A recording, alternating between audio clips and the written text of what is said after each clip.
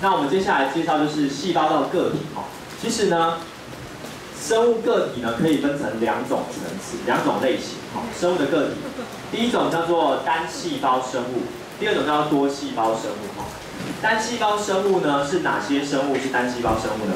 像是我们刚刚看到影片当中的草履虫哈，例如它那个长条形的草履虫。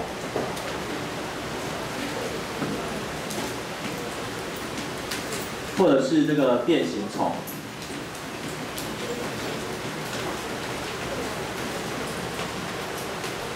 还有像是细藻、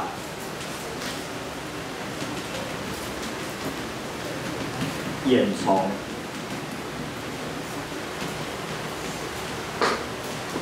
好，这些叫做单细胞生物哈。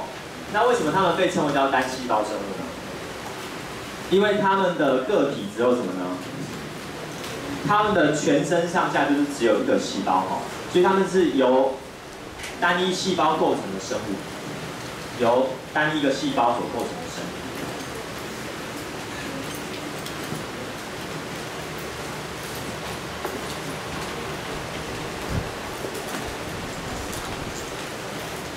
哦，所以它们身体其实就比较简单的哈，没有很复杂的什么器官那些都没有，它们就是很简单的一个细胞哈。相对多细胞来说是比较简单的类型哈，所以它们其实它们全身上下只有一个细胞哈。那问题是这个细胞就要扮演很多的工作哈，比方说这个细胞一个细胞可以游泳，可以摄食，可以呼吸，好，可以做很多所有事情哈。所以它的这个细胞的功能比较多哈，细胞的功能很多。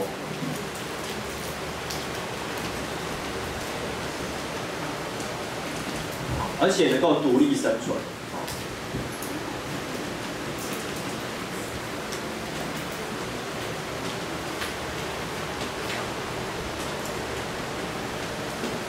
好，那我们之所以会把它提出来，是因为它跟我们人有什么不同呢？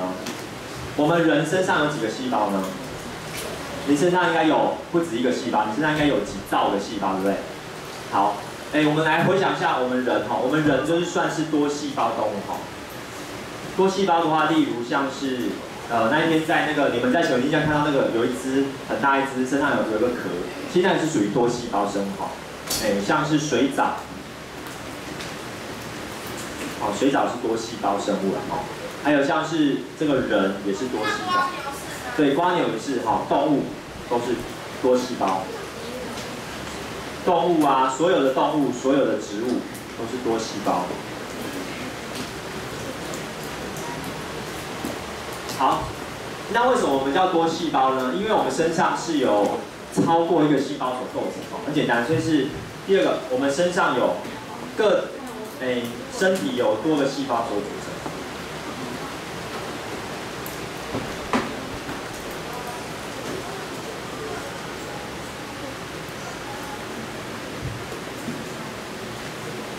哎，我们可以回想一下，你们你们在地球上一出现的时候是什么状态？不知道，你有想过你最早是长怎样？精子跟卵子。对，其实你是由一个精子跟一个卵子怎么样结合，对不对？哎，那结合之后变几个细胞？变两个。不对，还是一个细胞。好，因为精子跟卵子结合叫做受精卵，受精卵还是一个细胞。可是你就是这个细胞吗？是没错，你一开始这个细胞，可是接下来你会进行什么事情呢？你会细胞开始分裂，好，在妈妈的子宫里面开始分裂，一直分裂，一直分裂，好，我们知道在肚子会越来越大，对不对？妈妈肚子不是越来越大吗？好，因为一直分裂。对，因为你的细胞一直分裂，所以你越来越大只，知道吗？好，最后呢？最后十个月之后你就变成一个什么？小婴儿，对不对？你本来是一团细胞，好，后来变一球，后来就越来越来越大，越来就变成一个人。所以其实我们人的细胞是会不断的分裂，好，但是这种单细胞生物它一生就是怎么样？一生就是一个细胞，知道吗？好，但是我们人是一生会一直分裂，变成很多个细胞，哈，而且这些细胞还会做什么事呢？会开始分工合作，好，你的有些细胞变成你的头发，有些细胞变成什么？你的皮肤，有些细胞变成你的脚趾头，有些细胞变成你的脑、你的肾、你的肝，好，所以。多细胞生物它们的特点，它们都会怎样？会分工合作，好。细胞会分工合作。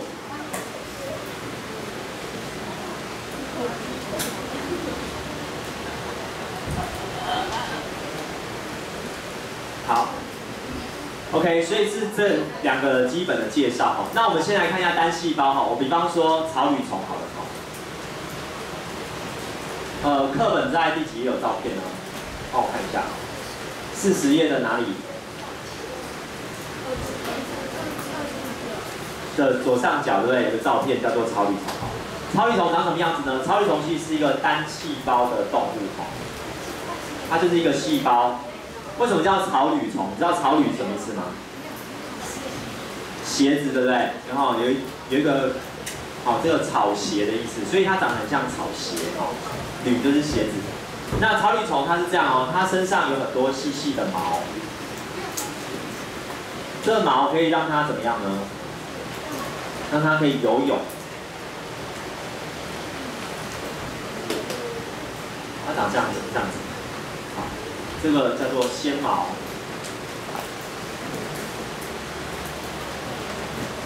那另外呢，它也有细胞膜。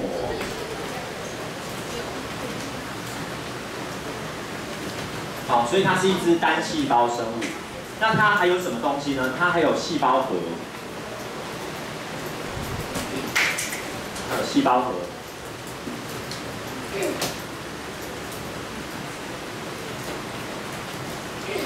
哦，那有些还有两个核啊，哈。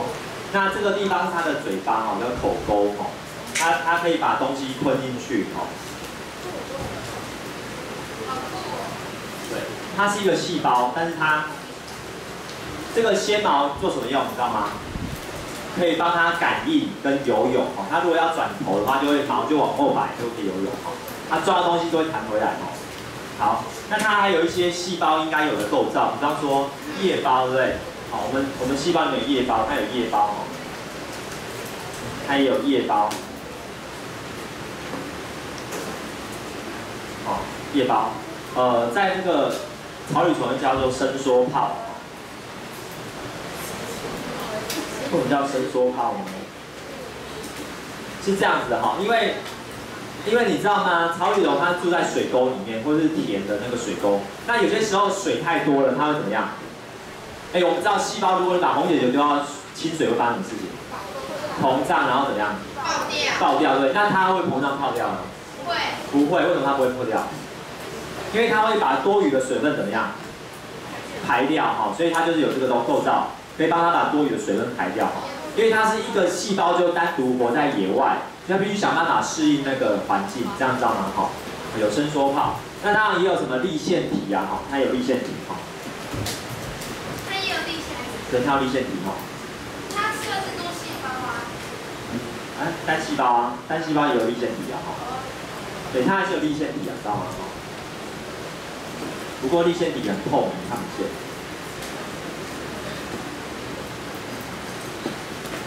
好，好，当然它有什么细胞质，对不对？细胞质。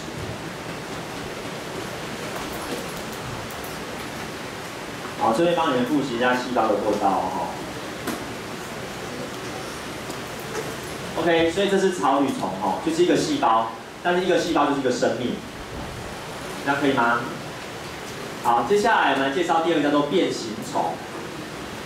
变形虫，我前几天才看一个新闻，上面看到有一个小男孩哈，美国一个小男孩，因为他他喜欢玩泥巴，结果他都没有穿鞋子哈，结果有一天就是可能有伤口，然后那个感染，结果阿米巴就跑到他的身体里面，就把他的身体的哦什么脑啊哦都破坏掉，这样就死了哦。就急救无效，所以变形虫其实，如果你的身体比较虚弱的时候，你真的会被它吃掉哈。它叫做阿米巴，因为它英文叫做阿米巴，又被叫做阿米巴原虫。杀死它？好，要怎么杀死它？你你要穿鞋子啊。还有，你喝的水要把它煮熟，要煮。那个，因为很多人，很多女生有得阿米巴哈，就是因为它那个。就我就刚刚讲过，说有人就是带隐形眼镜去游泳，那因为那个隐形眼镜戴了进去之后呢，那个水如果不是很干净的话，哦，有些时候就会有阿米巴哈，那感染，然后因为那个地方又很温暖，会把你的眼角膜吃掉。那这个也是为什么戴隐形眼镜就会被吃掉？因为你你你的眼泪没办法把它洗掉。啊，过滤以后，过滤以后应该会稍微好一点哈。可是就是最好比较安全，就是把它煮熟，把煮加热超过六十度。好，阿米巴的话就这样子，它是一个形状不规则的东西。你看杀虫剂用到它会死掉吗？杀虫剂，你会先把自己毒死。你会拿杀虫剂的水去喝吗？不会吧。好，所以呢，阿米巴呢就是一个不规则的形状。好。那它怎么吃东西呢？它是东西，它要吃的它是把东西包起来，哈。好，好，那它也有细胞核，它有细胞核，我直接画条线啊，细胞核。那还有什么呢？也有细胞膜，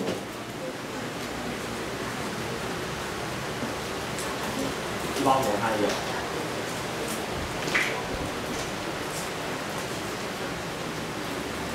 它有叶包，也有地线体，啊，不过跟人的细胞好像蛮像的哦。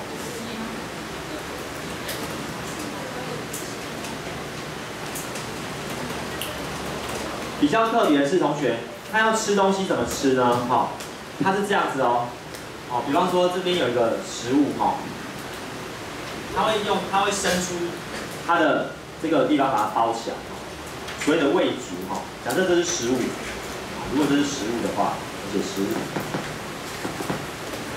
它怎么吃呢？它是这样子的，它会把伸出那个胃足把它包起来，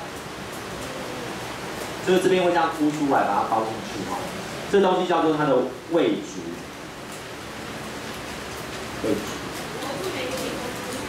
对，它可以随便。所以它叫变形虫，然后这样慢慢包起来就可以它吃进去。好，呃，很像，好像一种卡通人物，就是好像鼻涕一样，然后会把它包起来，然后就吃进去这样。对，好，所以这叫变形虫。好，阿米巴。哎，还有什么呢？还有眼虫啊，哈。眼虫比较特别，是它还有利于叶绿体。眼虫长这样子哈。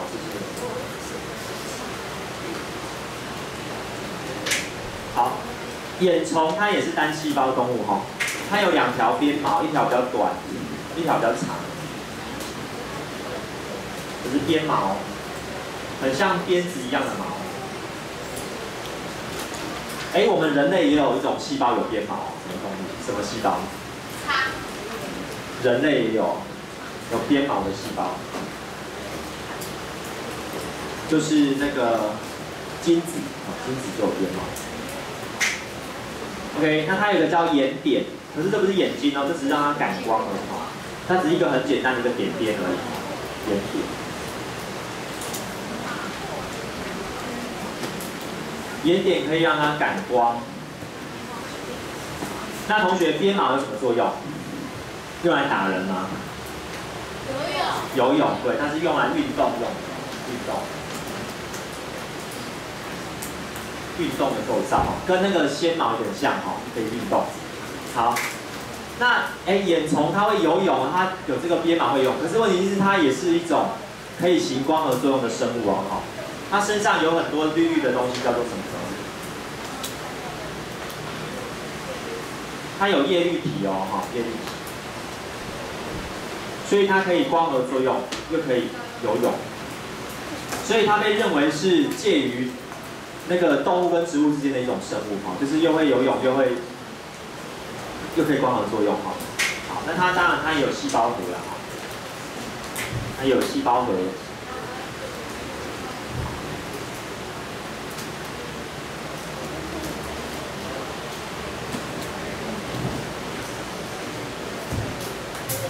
细胞核。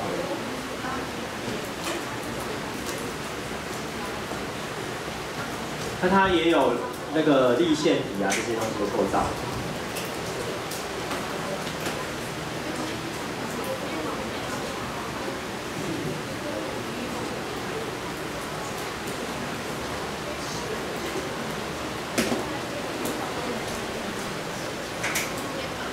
好，也有叶包。